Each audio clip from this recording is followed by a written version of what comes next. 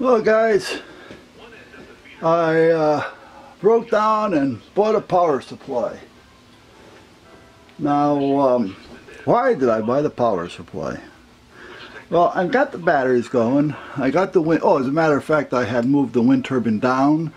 Um, it's about three feet off the roof. It gives, well, it's a little bit more than that. It actually gives me about a foot and a half clearance from the blade. Um, but I'll tell you what, as soon as I put it there, uh, the wind was, you know, kind of just breezing through here and it was spinning like crazy.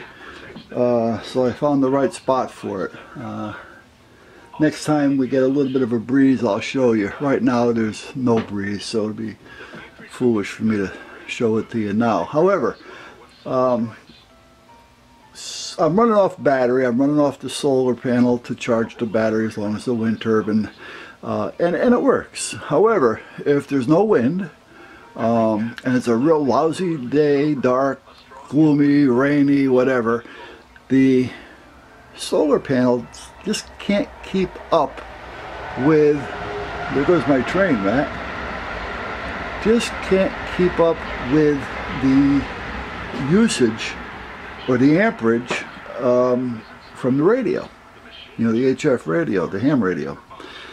So you know, it just gets to a point where you can't use it. So I, I needed to have something uh, more stable, more permanent, um, or at least as a backup. So I decided to buy the power supply. Now I still have everything hooked up, you know, as well. What I did was I put a switch on. It's a marine switch. It's a boat switch. Um, you know, uh, for one battery, two batteries, or all batteries. Uh, I've got a few of these things laying around, so naturally, you know, I figure I'd use one of them. And on one side where it says two, I had marked that battery. The other side I marked supply, which is number one. I just got to make sure that I do not switch it down to both because then I will have a problem and possibly blow up the supply. Now, now there goes the one the other way. Like I said, we get one east, one west three times a day.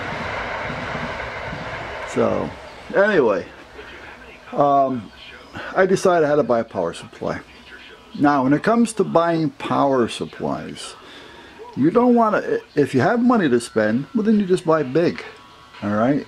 But if you want to stay within reason or within a budget and you're trying to buy something close to what it is that you need, uh, well then you have to pay attention because the power supplies are not giving you what they are marked at.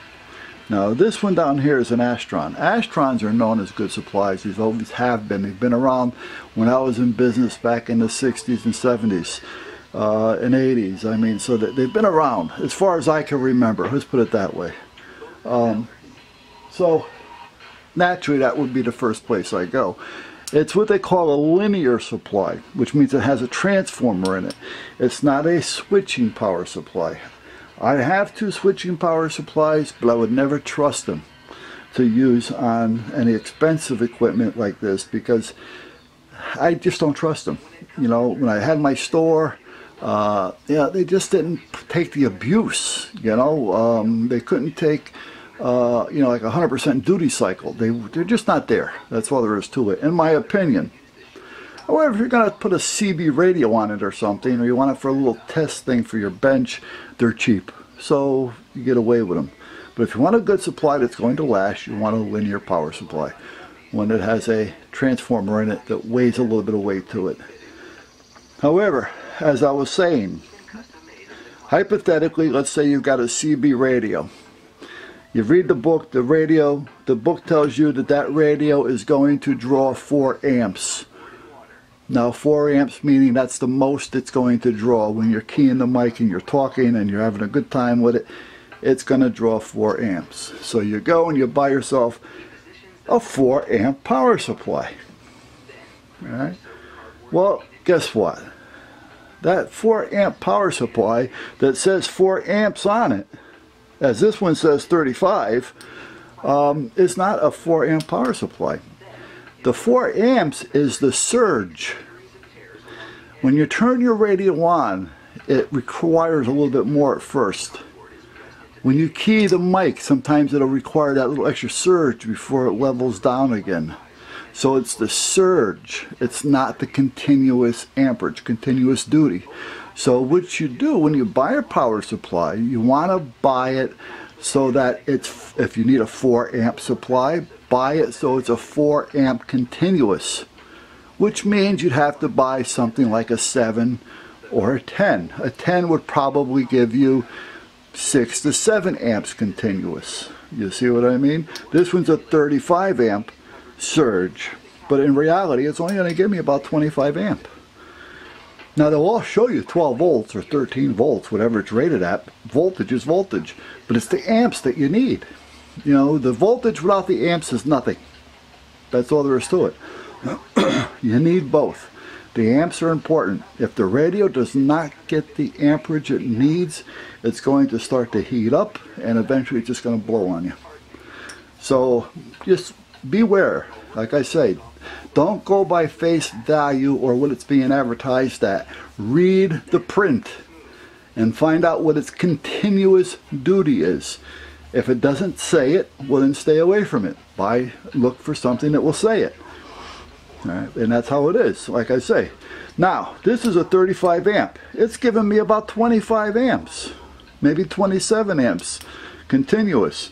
The radio I use draws, uh, takes requires to work properly between 23 and 25 amps.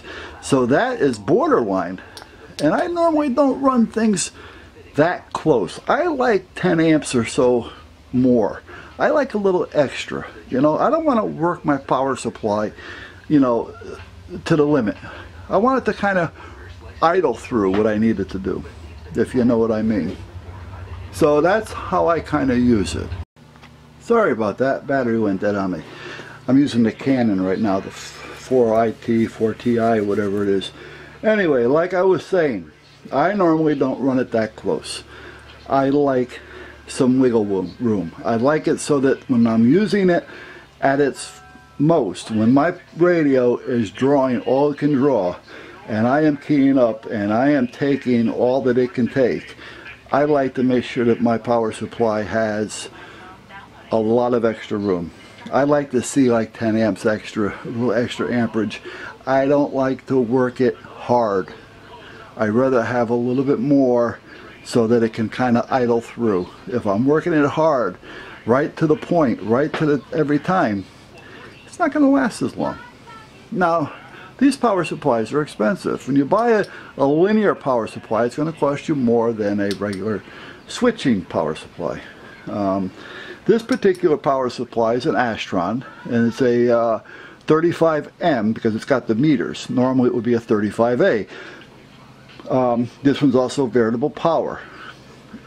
This one is uh, cost me 200 and $209 this one cost me. Now, if I didn't have the battery backups, and this was going to be the only thing that I was going to rely on, knowing that it gives me 25 amps continuous even though it's only a 35 amp power supply um, and my radio draws 23 to 25 amps and I have other radios and things going as well. But on receive it doesn't draw that much. On receive this thing is just kind of like moseying along. But when you start transmitting if I hadn't had the battery backups and the solar panels and all that kind of stuff here as a backup system I would have bought a 60 or even 70 amp power supply because a 60 amp power supply would probably give me about 45 amps 45 to 47 amps. My radio draws 23 to 25 so see what I mean? Now I got a lot of wiggle room. Uh, it, it's not working at its peak. You know it's not drawing all that it can take you know it, has got room so it's not going to work quite as hard so to speak. Um, I may even go uh, up to a 70 you know? Uh, when I first got into amateur radio years ago I had a 100 100 amp power supply. Um, but you know it's one of those things with cost factor too because these are more expensive. But you don't want to buy something that's borderline because you're going to end up blowing it up and wasting your money So think about that, you know, even if it means waiting a little bit longer to get what you need. If your radio draws 10 amps, you better get yourself a 15 or 20 amp power supply. But check what it gives you on continuous duty. All right, not on face value. Face value is 35 on this. Again, that's your surge. Surge is not going to help you. All right, so you want to check and watch what you buy. Anyway, uh, I am going to get ready to go in the house. Uh, the wife did a lot of um, of my passwords and things for me on an Excel spreadsheet. Uh, I can do it, but she can type, and I'm a hunt and peck. So what she did in an hour would have taken me a day, uh, but she took care of that for me. She took care of some of my addresses. So, um, but she did it out here in the shop. So I'm going to go inside and and lay on the couch and go through it to make sure that it's what I think it is and go through it with the papers to make sure that she didn't forget anything and then maybe organize it to the way that I want it other than the way she had put it. So, but um, other than that, that's about it. I will be putting the base of the new tower in the ground probably sometime next week.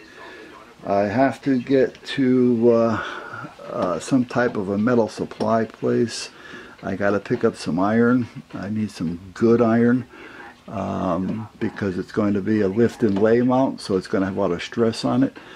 Um, I've got to pick up probably 20 bags or so, if not more, of concrete because I got to fill a 55 gallon drum with it, which is going to be in the ground. Um, I'm going to throw some rebar through it to help hold everything in place so that it can't come out. Uh, so uh, when I start that, I'll kind of do a video on it and give you an idea what I'm doing and what I'm not doing. The actual tower is not going to go up right away, but uh, I can still get the base in the ground and, and let that sit there. You know, if it sits there for two or three weeks, it's not a big deal. You know, uh, basically the longer it sits, the better it is for me.